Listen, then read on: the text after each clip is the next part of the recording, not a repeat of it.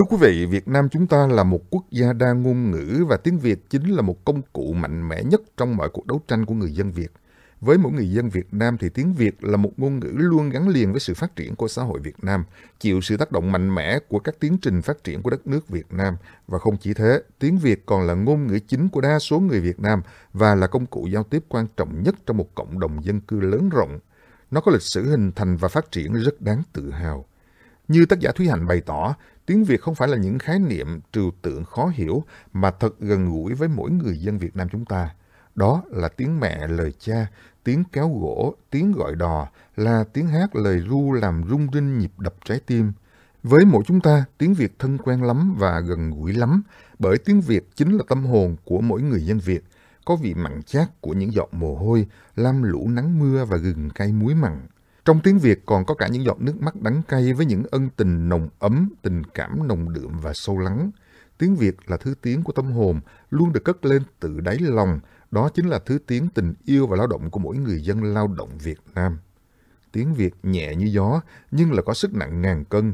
Hết sớm lại chiều, tiếng Việt thoang thoảng nhẹ nhàng, khẽ làm khô những giọt mồ hôi và nâng những gót chân. Tiếng Việt mộc mạc chân chất nhưng khỏe khoắn, vừa cứng cỏi lại vừa mềm mại tinh tế, bay bổng dịu dàng. Tiếng Việt là sợi dây nối liền tâm hồn, tư tưởng của tất cả mọi người trong cộng đồng, cũng như những người con xa xứ lưu lạc. Vậy nên, với những người Việt Nam xa xứ, có mong muốn nào hơn là được nghe thấy tiếng Việt giữa mênh mông cộng đồng xứ lạ. Tiếng Việt của chúng ta mềm mại như từng thớ đất cày, óng vàng như trang ngà giải lụa. Tiếng Việt là khát khao, ước mơ, là dòng sông suốt đời không ngừng chảy, Dòng sông ấy soi bóng những cánh cò, những cánh đồng quê, những nhịp cầu tre sắc nước màu mây. Dòng sông ấy còn lưu giữ cả truyền thống yêu nước, tình những ái bao la của con người Việt Nam. Vượt qua bao không gian và thời gian, như sức mạnh ngàn cân, tiếng Việt ngày càng trở thành một khối thống nhất của toàn thể con người Việt mà không có kẻ thù nào có thể ngăn chặn được. Sự bền vững của tiếng Việt chính là sự bền vững của cốt lõi lòng người. Tiếng Việt chúng ta đẹp và trong sáng là thế, nhiều công trình nghiên cứu trên thế giới đã khẳng định điều đó. Họ còn cho rằng tiếng Việt là một ngôn ngữ phong phú và không ngừng phát triển. Tuy nhiên, do xu thế hội nhập và toàn cầu hóa đã khiến cho tiếng Việt nhiều khi phải đứng trước nguy cơ bị hòa tan bởi chính sách của thế giới phẳng về ngôn ngữ và văn hóa. Bên cạnh đó, cùng với sự phát triển mạnh mẽ của khoa học và công nghệ cũng như là Internet, giới trẻ Việt Nam cũng đã sáng tạo ra một thứ ngôn ngữ mới gọi là ngôn ngữ A Còng, ngôn ngữ của thế hệ tin thế hệ Gen Z mà ít nhiều đã có những tác động đến tiếng Việt, làm cho ngôn ngữ của dân tộc bị thay đổi nhanh chóng trên nhiều phương diện. Tiếng Việt đang bị pha trộn ngày càng nhiều, ở mọi nơi mọi lúc cũng đã làm cho tiếng Việt phần nào trở nên méo mó và bị biến dạng. Ai đó thật có lý khi nhận định tiếng Việt méo hay tròn và có còn trong sáng hay không chính là do khả năng tư duy và cái lưỡi của chúng ta.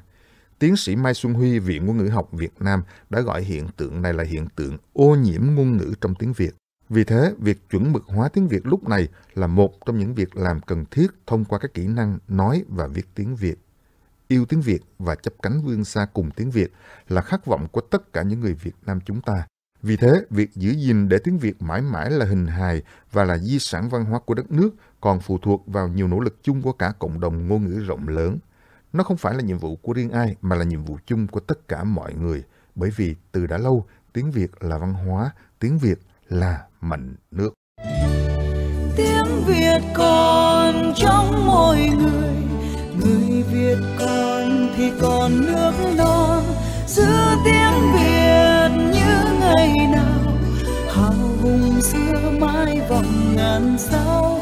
Tiếng việt còn trong mỗi người, hồn việt mình còn nguyên vẹn tròn.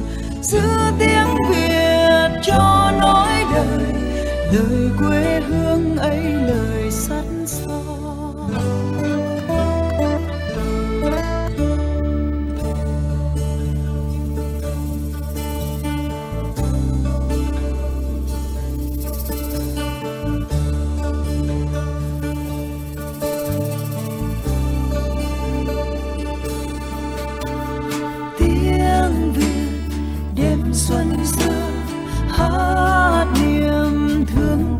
họ câu qua câu để lại mùa thương. Cho sau này ai còn niềm vương. Tiếng việt trên dòng sông có điều nam ai buồn. Ai chờ ai bên bờ xa ai chưa về, ai còn đổi mưa. Tiếng việt còn đòi rộng rộng hò tìm về quê hương. Băng cánh đồng hẹn hò người thương tiếng việt còn trong mỗi người người việt còn thì còn nước non. Giữ